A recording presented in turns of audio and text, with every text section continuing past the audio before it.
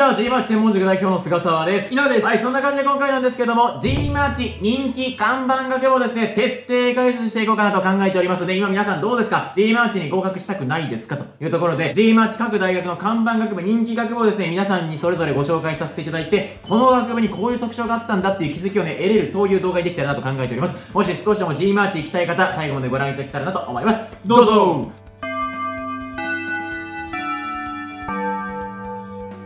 早速学習院大学からご紹介させていただけたらなと思いますね、はい。G マーチマーチどっちで言ったりするんだってところはありますけれども僕らは一応ね G マーチで統一していこうかなと考えています。まずですね学習院大学からご紹介しましょう。学習院大学の看板学部何か。文学部ですね。文学部。はい、文学部ねどこら辺が看板学部人気学部なんですか？はい、はい。学習院ちょっと迷ったんですけど学習院は基本的に皇族に、うん。まあ、ルーツを持っているからそうですよね。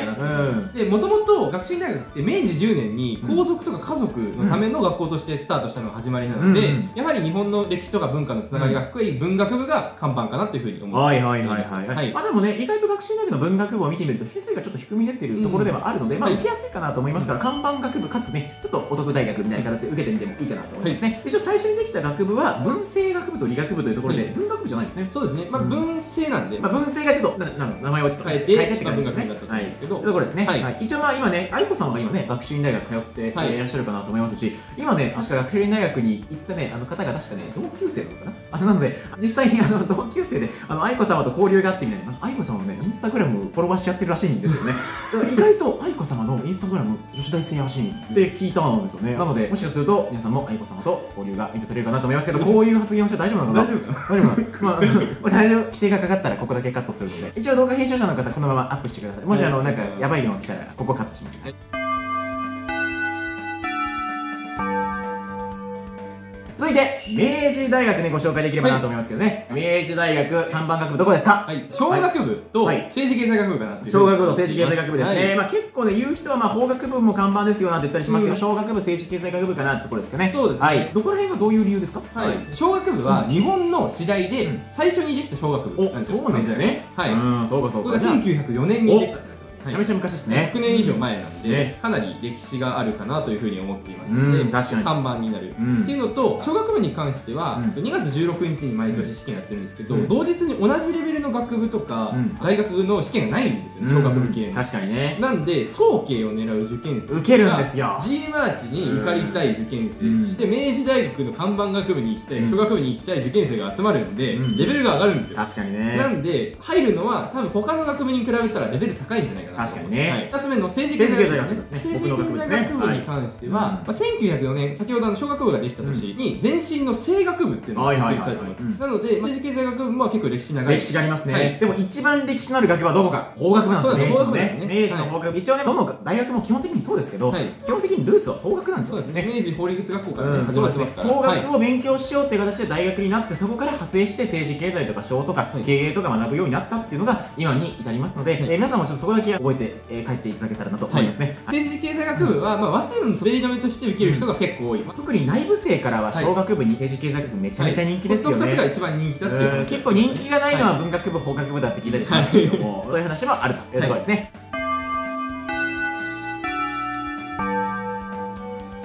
いて青山学院大学ご紹介できればなと思いますけども、看板学部どこですか？はい、青学ちょっと迷ったんですけど、はい。文学部の英米文学か、はい。まあまあ国際政治経済学部か、総合文化政策。はいはいはいはい。いつか後半2つはかなり人気のね、学部ですよね。はい。うん。具体的にどういう理由ですか？はい、文学部の英米文学に関しては、うん。まあ青学の前身であるのが東京英和学校っていうところがあるんですけど、そこがキリスト教系の学校で、うん。イギリスとアメリカの宣教師によって作られた学校なんですね、うん。なので英語に非常に力を入れていたっていうところでやっぱり文学部の、うん。まあ、英米文学っていうところが看板になるのかなというふうにルーツはありますからはい、ね。国際政治経済と、うん。えー総合文化政策に関しては、まず偏差値が高い。そうですね。めちゃめちゃ高いですよね、ここでね。倍率も高いっていうところなうで人気ですよ特にね。総合文化に関しては65国際政治経済に関しては63.3という形で、うんうんまあ、G の中でもだいぶ高い方であるかなというふうに思っているので、人気がある学部なのかなというふうに思ってます、そうですね。特に総合文化政策に関してはかなり幅広く学べる学部でして。そうですね。まあ、明治だと情報コミュニケーション学部ですし、でも、ここよりかかは結構エンタメチックな学びもかなりできるんですよね。そうですね前、学部生にインタビューしましたけど、動画系の学び、でそれこそ、ミスタマリボンドのカンタさんが確うん。か総合文化政策で、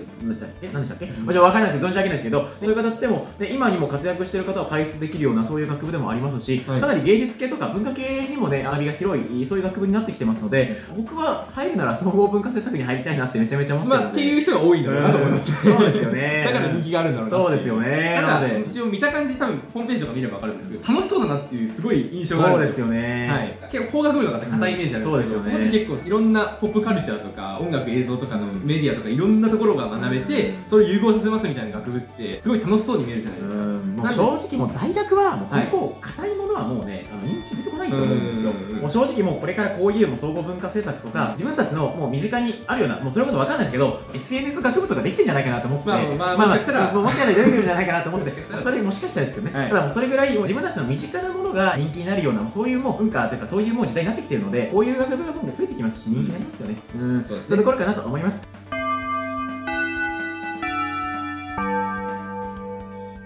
続いて、えー、4番目ですね、立教大学ですね、はい。ご紹介できればなと思いますけれどもね、えーり看板学部ね、どこですかね、はい、立教大学は異文化コミュニケーション学部か異文化コミュニケーション学部ね。はい、はい。これ、なんでね、えっと、まずですね、偏差値で見るならもう完全もう G マッチ時代でトップなんですよ。あそうですね。67.5っていうのは他の大学では出してないので、立教の中でもトップだし、G マッチの中でもトップなんで、早慶じゃないですか、早慶だなと思ってます。うん。確かはい。にね、最近国際系コロナでちょっとあれかもしれないですけど、うん。国際系の人気がやっぱ高いので、として、なので偏差値が高くなってるかなっていうのとあとやっぱキリスト系の系の学校なんでやっぱ英語力やりたいとかっていうのがあるかなっていうので、もうやっぱ人気がすごいですよ、はい。もう立教大学と青山学院大学はねね。青山がちょっと受けづらくなったので、立教大学に対するやっぱ人気もかなり高くなってきたかなと思いますから、うん。立教と明治がちょっとね、マーチの中だと抜きに出るんじゃないかなと考えております。今日だとあと経営とかもねそう。そうですね、経営学部もかなり看板学部ですね、うん。そこも皆さんで頭の中に入れてもらえたらなと考えております。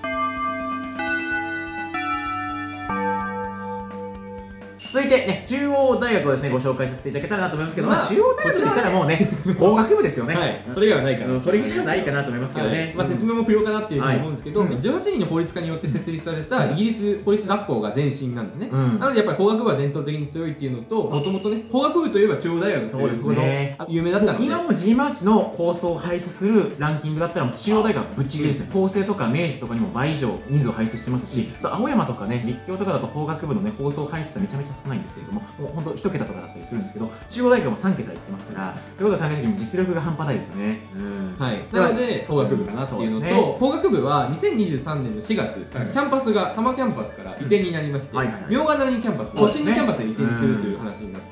確かにね。で茗荷谷キャンパスは後楽園キャンパスがある後楽園駅から一駅という形で、はいはい。すごい都心にあるんですね。確かにね、はい。なかなかその中央大学は多摩キャンパスにうん。キャンパスがあるからってところで敬遠されてきたところもあってその影響もあって倍率が低かったり偏差値が低かったりして狙い目の大学学部とされてきたんですけれども中央大学法学部の人気をめちゃめちゃ上げようと、まあ、多分中央大学も画策してるんじゃないかなと思いますのでキャンパスを移転させて人気度をアップさせよう都会に回帰させようというところになってきたかなというところですね、まあ、なので中央大学法学部受けてみてもいいんじゃないかなと思いますし多分通いやすくなるかなと思いますので、えー今後大学受験控えている方は受けてみてください。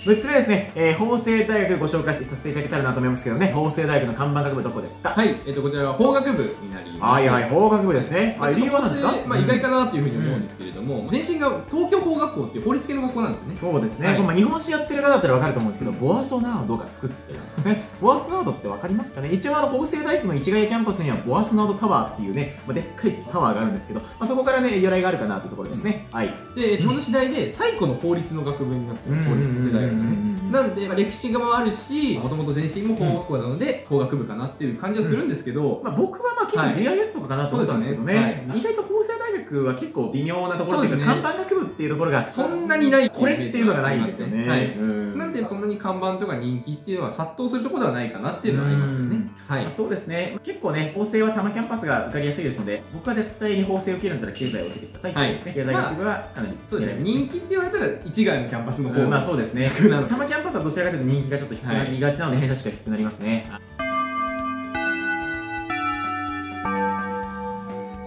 ところでね、G マーチ人気看板学部ご紹介させていただきました。このね、え内容をもとにですね、皆さんもですね、G マーチこの大学にしようかな、この学部にしようかな、ここの学部を志望しようかなとかね、この学部受けてみようかなっていうのがね、決まっていただけたら嬉しいなと思いますし、この学部、大学面白そうだなってところから派生して、他の学部見てみるのも面白いかなと思いますので、皆さんの大学受験の何か一つのきっかけになればなと思っております。そんな感じですね、こういう形でね、えー、いろいろな G マーチの情報であるとか、大学受験の情報であるとかね、皆さんにお得となる情報をですね、えー、発信しておりますので、もし少しでも気になる方はですね、チャンネル登録だけ忘れないでくださいねってところですね。結構僕らでチャンネル登録者が増えるとね、嬉しいですからね。あと、一応コメント等もね、飛ばしてもらえるとすごい嬉しいなと思いますね。はい。そんな感じでね、このような形で終わりにできればなと考えております。はい、ありがとうございました。ありがとうございました。ね、動画も見てください。はい。今、メイパスでは無料受験相談、えー、そして2週間無料体験を行っております。 GMARCH に合格したいよ、明治合格したい、青学合格したい、立教合格したい、そういう受験生の方々をサポートできたらなと考えております。もし少しでもね、G マーチ合格したい受験生はですね、無料受験相談2週間無料体験、え、応募していただけたらなと思います。